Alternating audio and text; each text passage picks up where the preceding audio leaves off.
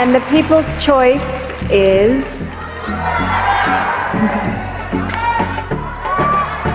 Robert Downey Jr.